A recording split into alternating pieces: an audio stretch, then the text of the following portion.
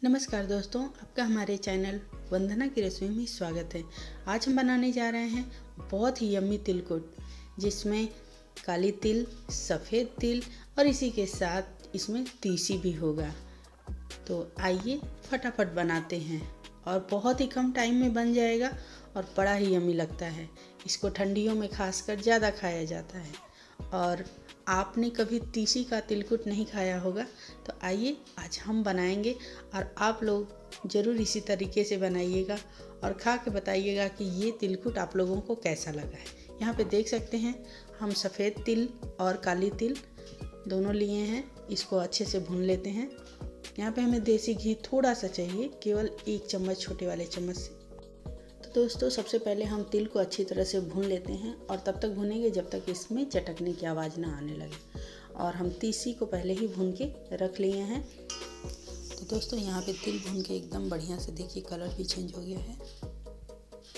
और इसके बाद अब इसको हम निकाल लेते हैं। तो दोस्तों, यहाँ पे हमारा तिल भून के एकदम रेडी हो गया है। अब इसको निकाल लेते हैं। यहाँ पे तीसी पहले ही हम भून के रख लिए थे। तिल भुनने के बाद यहाँ पे हम 250 ग्राम के करीब, यानी कि एक भेली गुड़ हम अच्छे से गला लिए हैं और एकदम चटपटा हमें, जैसे हम लोग ढूंढा का चाशनी बनाते हैं, बिल्कुल उसी तरीके से। यहाँ पे एक चम्मच हम घी डाल दिए हैं। घी डालने की वजह से हमारा तिलकुट एकदम एक नंबर का बनने वाला है।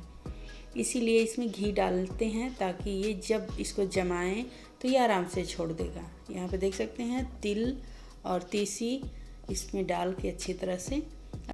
तो दोस्तों, यहाँ पे तिल, तीसी और सफ़ेद तिल सब मिल गया। इसको अच्छे से देखिए, यहाँ पे फ़र्स्ट क्लास गाढ़ा भी हो गया है। बहुत ज़्यादा हमें नहीं गाढ़ा करना है। और जिस बर्तन में हमें जमाना है, आप इसको चाहें तो पूरा भी जमा सकते हैं। बाद में बर्फ़ी जैसा काट देंगे। लेकिन इस तरीके से आप चाहें तो एक एक चम्मच एक एक चम्मच, छोटे वाले चम्मच से डालते जाएँगे। तो ये फ़र्स्ट क्लास तो इस तरीके से हम इसको एक एक चम्मच डालते जाएँगे और ये आराम से तिलकुट जैसा हमारा बन के रेडी हो जाएगा। और इसको जमने में भी टाइम नहीं लगेगा, देखिए। इसको अगर तेल लगा के अच्छे से इस पर डालेंगे तो ये देखिए थोड़ा थोड़ा डाले थे, लेकिन ये फैल गया है। अब इतना ये फ़र्स्ट क्लास बिस्किट जैसा बना है ना, कि आप इसको महीनों तक रखिए, ये कहीं से ख़राब नहीं होने वाला है। और स्टील के बर्तन से ज़्यादा बढ़िया बर्तन है। अगर आप एलुमिनियम के बर्तन में डालेंगे तो इसको छुड़ाने में कोई दिक्कत नहीं है। थोड़ा स्टील के बर्तन में छुड़ाने में दिक्कत हो रही है। कितनी आसानी से ये एक एक करके गया है? देख सकते हैं?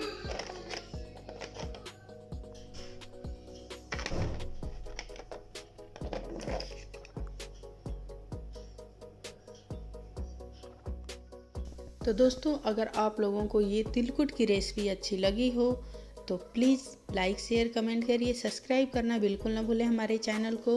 और ये बहुत ही यमी बनी है, इतना क्रंची है कि आइए आप लोगों को हम यहाँ पे दिखाते हैं। और दोस्तों, ये इतना क्रंची बना हुआ है तिलकुट कि इसे आप लोग ज़रूर बनाइएगा। और इसमें तीसी डाल के बनाइएगा, बहुत ही स्वादिष्ट ये लगने वाला है। तो चलिए मिलते हैं नेक्स्ट वीडियो में। तब तक के लिए धन्यवाद दोस्तों। लाइक करना बिल्कुल ना भूलें।